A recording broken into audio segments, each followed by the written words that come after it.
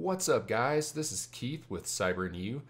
Today we've got a really quick tutorial for you again. We're going to show you how to close your Amazon Web Services account.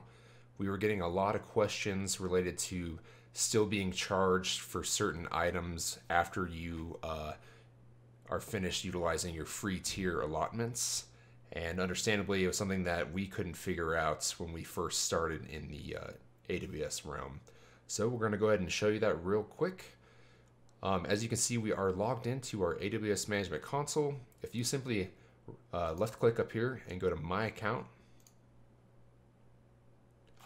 and scroll past that, you go all the way to the bottom. If you tick these uh, these check boxes um, and thoroughly read this, and then click Close Account, your Amazon Web Services account will be closed. Um, as long as you have already fulfilled any pending um, billing arrangements, you should be good to go and it'll close that account and you will no longer have uh, any random bills or anything to worry about. And that is it, guys. Just want to quickly show you guys how to close your Amazon Web Services account. If you like this video, give us a like and subscribe to our Cyber and You YouTube channel. See you next time.